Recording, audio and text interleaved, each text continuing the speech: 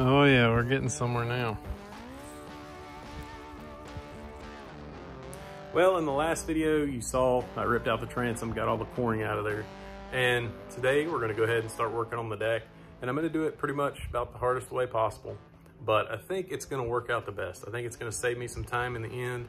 And I think it's gonna turn out a little bit better. But that's yet to be determined. We'll see what happens. And I hope you're liking these videos. Go ahead and subscribe and we're gonna go ahead and get started. I don't know if I kind of elaborated enough on this, but my plan is what I'm going to do is go back with a solid fiberglass deck. And it's going to take quite a few layers. It's one reason I really shopped around for glass. And I have no idea how thick this is. I haven't cut into it yet at all. I know it's pretty thin from drilling it and putting screw holes in it in the past. But, yeah, we're just going to have to see how thick it is. So, my original thought was to start at the back and what I'm gonna do is I'm gonna start at the front because I don't have a canopy yet, obviously. And this way I can put a tarp over the front, jack the front of the trailer up and all the water will run back into the drain holes. So I'm gonna start up here and hopefully in the next week or so, fingers crossed, I'll have that canopy here and set up. But what I'm gonna do is I've been trying to figure out the best plan of action because what I need to do is bring it in a little bit off the sides. I want to leave a little on the sides and taper. And what I've got is I have went ahead and purchased my fiberglass. I was going to use what I have, but it's only a 12 ounce biaxial. I ordered some 17 ounce biaxial. And the only issue is I found it at a really, really good price. And it's only 30 inches wide though. So that's going to kind of make things a little tricky. But if I come off, I used a two by four actually. I come off three and a half inches on both sides. That'll be seven inches and it's 62 inches wide. So that'll give me enough overlap. I think I'm gonna run my seam in the middle. That way it'll kind of bring the middle up a little bit and I can drain off to the outsides. But that way it'll bring my seam in the middle. I'll have four, three, four inches of overlap and I can taper my sides to taper it in to the original deck. So that's my thought at least. I think it's gonna work, but you know, there's no way to really to tell until you start cutting. So we're gonna do just that. So I'm gonna start right in here. I'm gonna try to leave this up in here because it's still a little swollen and there's two holes up there. But I think if I start here and just drill a few holes in and as I'm working any any moisture in there will drain out hopefully. So that way I can leave save me a little bit of work up in here. But I'm gonna go ahead and start right here and we'll see what it looks like.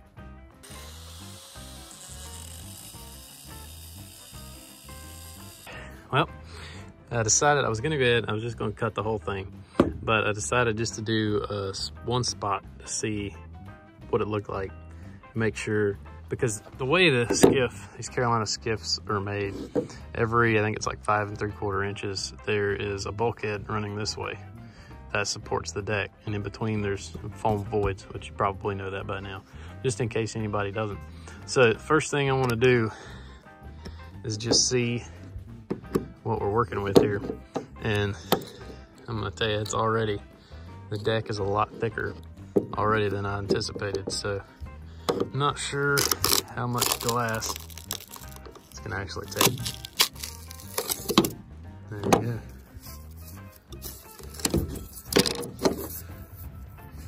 Well, there's cut number one. Yeah, I don't know, it's got a real thick layer of uh, gel coat. So, I don't know. We'll see. I'll trim some of that, I'll sand some of that gel coat down and sand the foam off the backside and see what we're looking at as far as thickness. And then I'll calculate up with 17 ounce biaxial how many layers I'm gonna need. I know it's gonna be at least five probably, but we'll go from there. So one of the main reasons uh, and not wanting to wait for my canopy before I start doing this is I've got to know what pound density this foam is. I even emailed Carolina Skiff and they couldn't tell me. They told me that they use two pound density now, polyurethane two part foam now for in their hulls. But before 1990, which this is in 1990, they didn't have, or it changed ownership. They didn't have any record of what pound foam they used. So I've got to cut some of this out, I guess weigh it or figure some way, but just by pushing on it, that ain't no four pound. It's got to be two.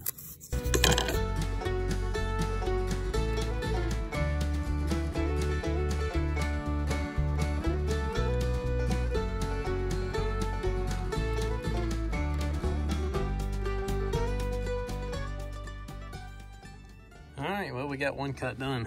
And what I'm trying to do here is cut a little ways on both sides of these bulkheads. Apparently, I was way off. I cut right on that one. But that's what it is. It looked like the dip's right here. But well, that might not be a good thing to go off of. All right, so I'm go ahead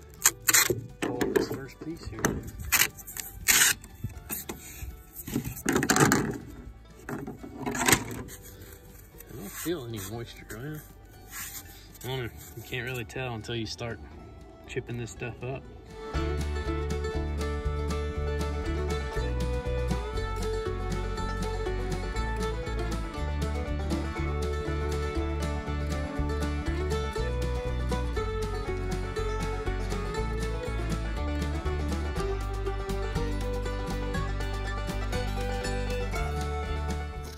It's gonna suck. I think there's, I think I counted, I think there's 30 of these cavities that I've got to cut out. Got to get all the chunks out. Worst part's gonna be I'm gonna have like 40 freaking trash bags full of this stuff. All right, well, we got it all cleaned out and I went ahead and took the shop vac and vacuumed everything out. And my biggest question, because I got to order my foam, so it'll be here whenever I get this done. And I have no idea. Uh, Carolina Skiff said they use two pound. From the density, it feels like it's two pounds, but I calculated this out. This void, which is the same as all the other ones, is 0.84 cubic feet. And so I'm gonna say it's one cubic foot. So I'm gonna go put this foam on a scale. I got it all cleaned up and bagged up over there.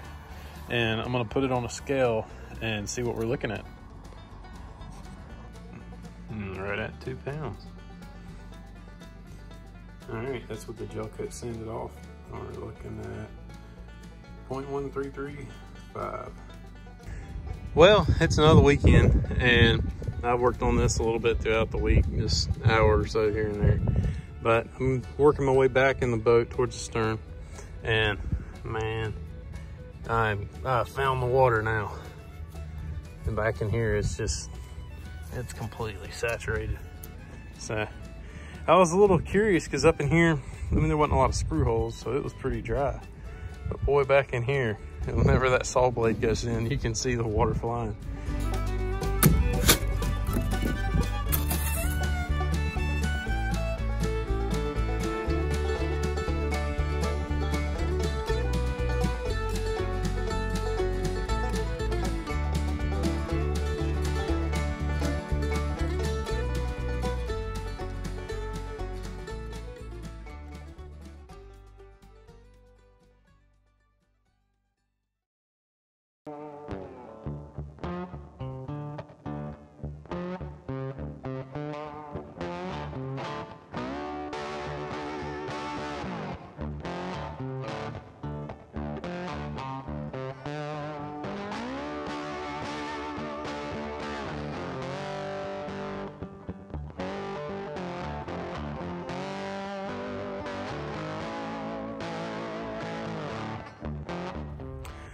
Well, I am about whooped and I'm covered in dust, but that's all right.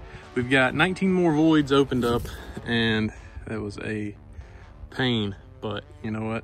We're getting there. We've only got about three and a half, four feet left of the transom, but that is a lot of foam to get out. And it's gonna be a bunch of trash bags. What I'm gonna try to do is I'm gonna try to bag all this up, tie up the trash bags, and when I'm done, I wanna weigh it and see just how much water and how much weight this thing was holding. So all there is to do now, I've took the saws off and went down each side and now it's just time to get to chip and foam. What I've been trying to do is after I get done cutting, I'm taking the shop vac and trying to like, get all the fiberglass dust up. All the dust you see now is from the foam from using the saws on cut it. But when you rub all against that fiberglass, it gets all over here and leaning over here, getting this off, it gets all over you and all in you. So I'm just trying to keep everything as clean as I can and stay as itchless as possible. All right, well, we're getting somewhere. It's a slow process, and I've been racking my brain trying to come up with a better solution than a crowbar to get this stuff out. And what I figured out the old pick, old mattock. That thing, it makes life way quicker. I mean, I've done three, and the time it's taken me to do about four. And you can scrape the bottom of that. And the only thing is you can't scrape on the sides. Got to take the crowbar and scrape the sides off, but that is way quicker.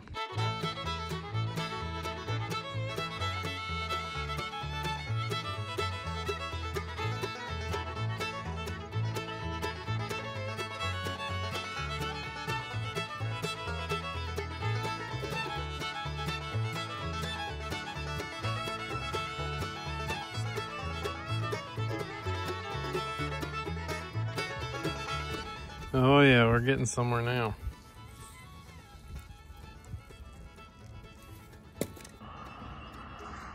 Well, it's really amazing to me that how saturated this fiberglass was because it has completely changed colors.